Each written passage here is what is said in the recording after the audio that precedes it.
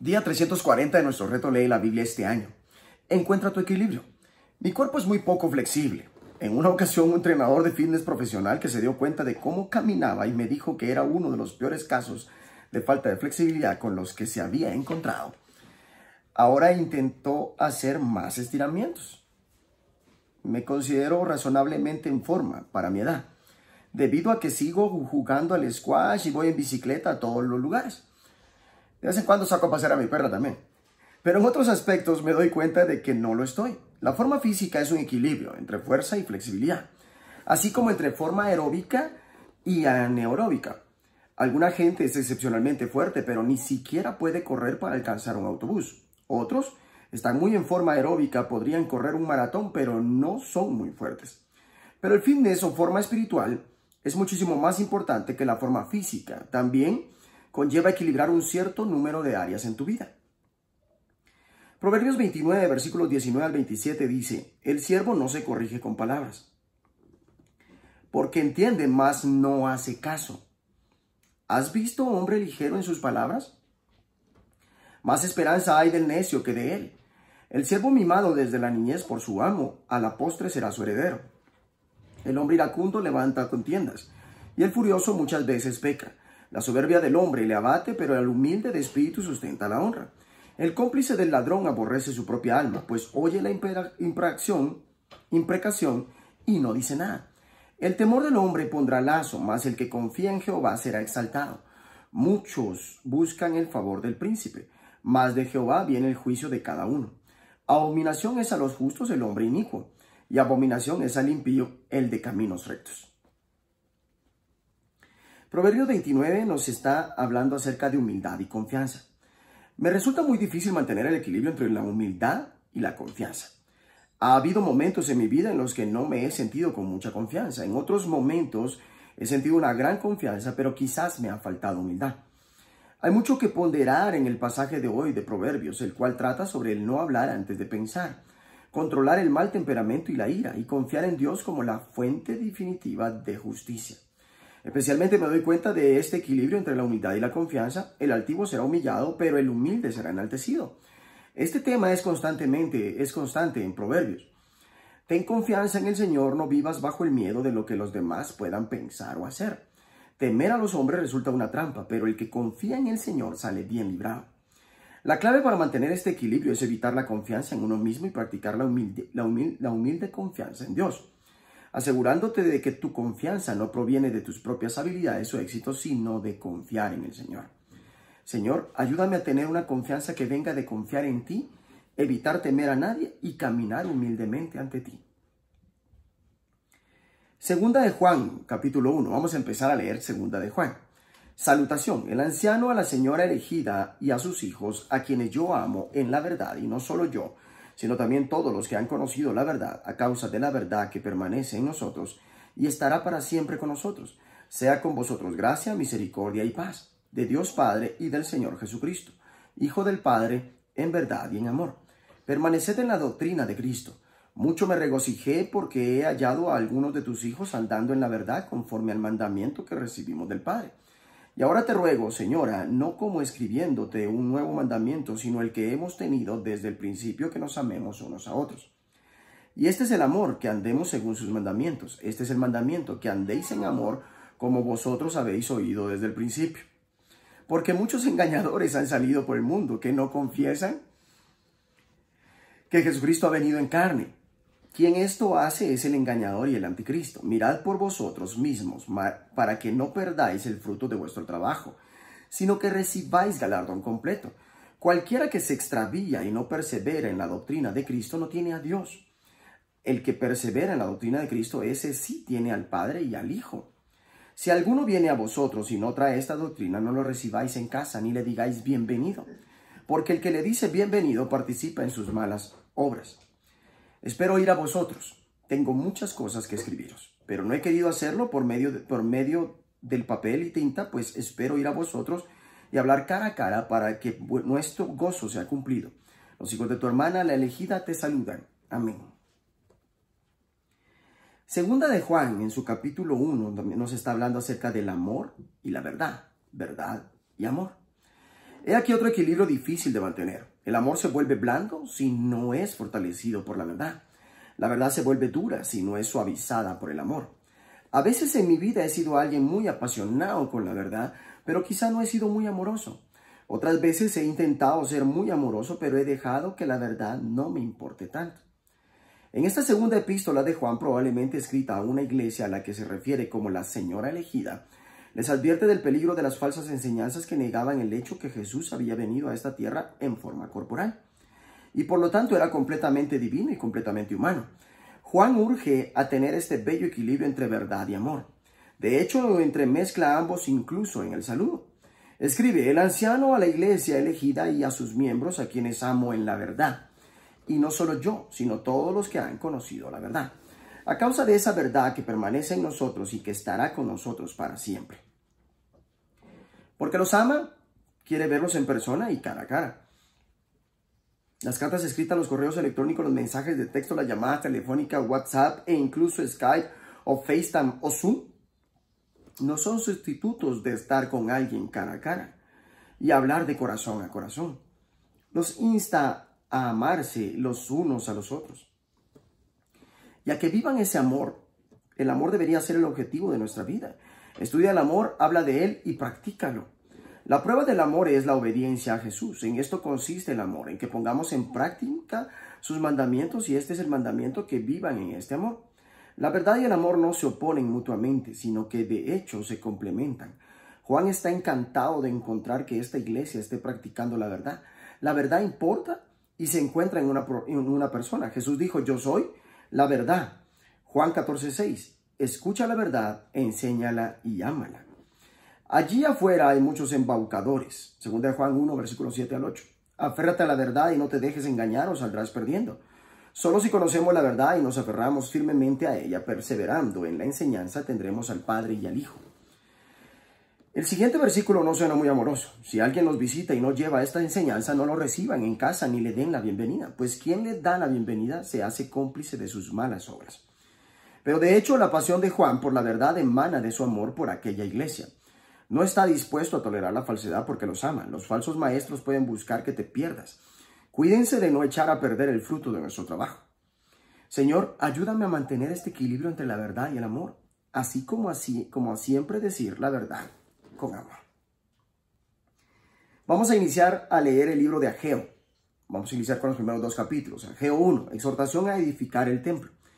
En el año segundo del rey Darío, en el mes sexto, en el primer día del mes, vino palabra de Jehová por medio del profeta Ageo a Zorobabel, hijo de Salatiel, gobernador de Judá, y a Josué, hijo de Josadac, sumo sacerdote, diciendo, así ha hablado Jehová de los ejércitos, diciendo, este pueblo dice, no ha llegado aún el tiempo, el tiempo de que la casa de Jehová sea reedificada.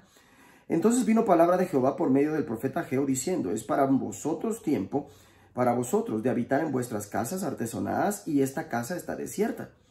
Pues así ha dicho Jehová de los ejércitos, meditad bien sobre vuestros caminos, sembráis, mucho y recogéis poco, coméis y no os saciáis, bebéis y no quedáis satisfechos, os vestís y no os calentáis, y el que trabaja jornal recibe su jornal en saco roto. Así ha dicho Jehová de los ejércitos, meditad sobre vuestros caminos, subid al monte y traed madera y reedificad la casa, y pondré en ella mi voluntad y seré glorificado, ha dicho Jehová, buscáis mucho y halláis poco, y encerráis en casa y yo lo disiparé en un soplo. ¿Por qué? Dice Jehová de los ejércitos, por cuanto mi casa está desierta y cada uno de vosotros corre a su propia casa. Por eso se detuvo de los cielos sobre vosotros la lluvia y la tierra detuvo sus frutos. Y llamé la sequía sobre esta tierra y sobre los montes, sobre el trigo, sobre el vino, sobre el aceite, sobre todo lo que la tierra produce, sobre los hombres y sobre las bestias y sobre todo trabajo de manos. Y oyó Zorobabel, hijo de Salatiel, hijo, y Josué, hijo de Josadac, sumo sacerdote, y todo el resto del pueblo, la voz de Jehová su Dios y las palabras del profeta Ageo como le había enviado Jehová su Dios, y temió el pueblo delante de Jehová.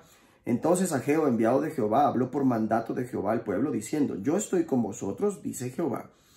Y despertó Jehová al espíritu de Zorobabel, hijo de Salatiel, gobernador de Judá, y el espíritu de Josué, hijo de Josadac, sumo sacerdote, y el espíritu de todo el resto del pueblo, y vinieron y trabajaron en la casa de Jehová de los ejércitos su Dios, en el día 24 del mes sexto, en el segundo año del rey Darío. Ageo 2. La gloria del nuevo templo. En el mes séptimo, a los veintiún días del mes, vino palabra de Jehová por medio del profeta Ageo, diciendo, Habla ahora a Zorobabel, hijo de Salatiel, gobernador de Judá, y a Josué, hijo de Josadac, sumo sacerdote, y al resto del pueblo diciendo, ¿quién ha quedado entre vosotros que haya visto esta casa en su gloria primera y cómo la veis ahora?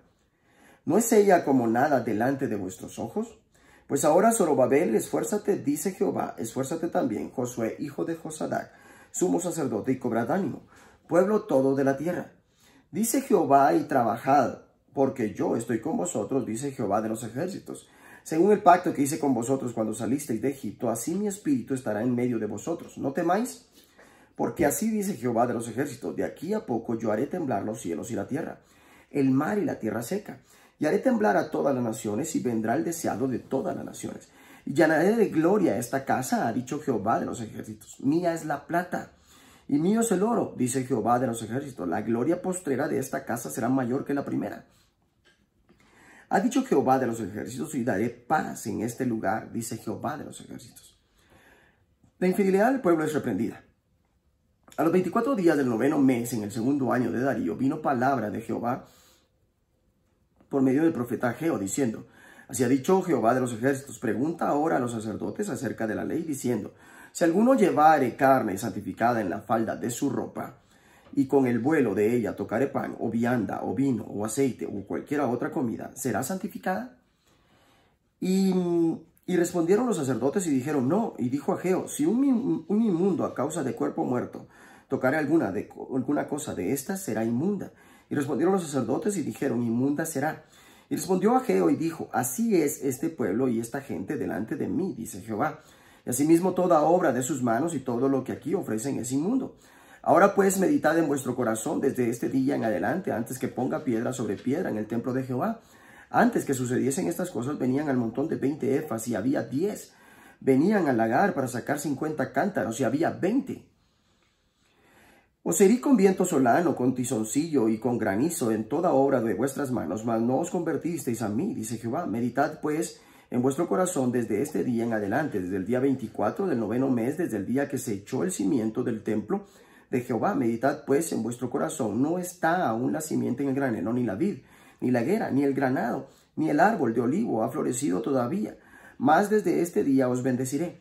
Promesa de Jehová a Zorobabel. Vino por segunda vez palabra de Jehová a Geo a los veinticuatro días del mismo mes, diciendo, habla a Zorobabel, gobernador de Judá, diciendo, yo haré temblar los cielos y la tierra y trastornaré el trono de los reinos y destruiré la fuerza de los reinos de las naciones, trastornaré los carros y los que en ellos suben, y vendrán abajo los caballos y sus jinetes, cada cual por la espada de su hermano. En aquel día, dice Jehová de los ejércitos, te tomaré, oh Zorobabel, hijo de Salatiel, Siervo mío, dice Jehová, y te pondré como anillo de sellar, porque yo te escogí, dice Jehová de los ejércitos. Ageo en sus primeros dos capítulos, Ageo 1 y Ageo 2, está hablando acerca de visión y acción. Un consultor de gerencia de alto nivel me dijo en una ocasión que nunca se ha despedido a un director ejecutivo por falta de visión, pero muchos son incapaces de llevar la visión a la acción. Las visiones no funcionan a menos que tú funciones. En este pequeño libro de Ageo vemos un maravilloso equilibrio entre la visión y la acción.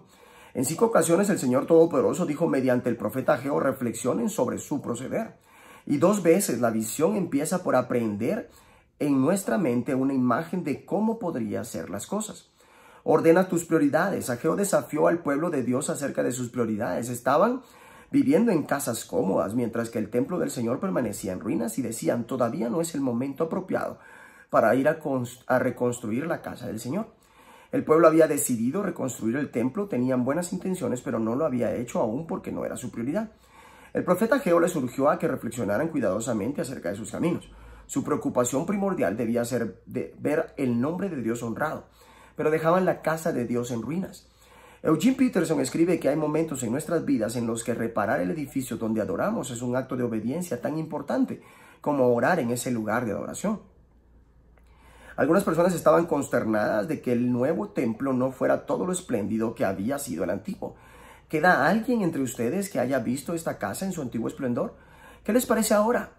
¿No la ven como muy poca cosa? Pues ahora, ánimo, que yo soy, yo estoy con ustedes, mi espíritu permanece en medio de ustedes.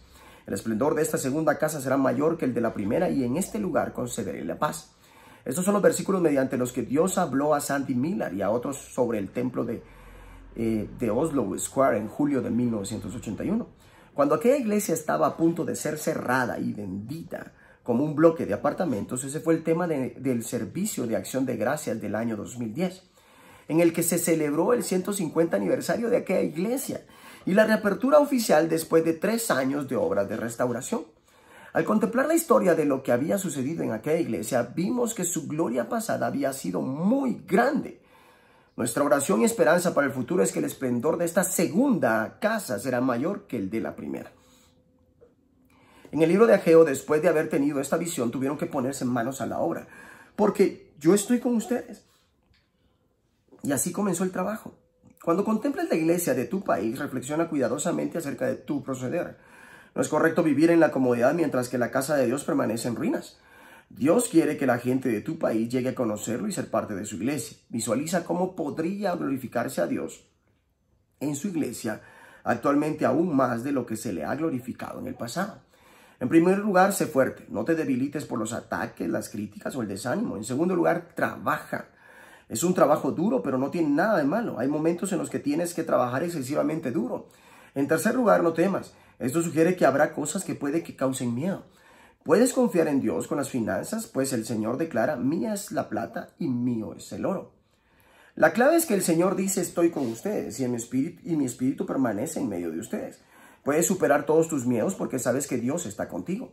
Señor, ayúdame a equilibrar la humildad y la confianza, el amor y la verdad, la visión y la acción, a confiar en que tú estás con nosotros y a trabajar duro para ver tu nombre glorificado. Que Dios te bendiga.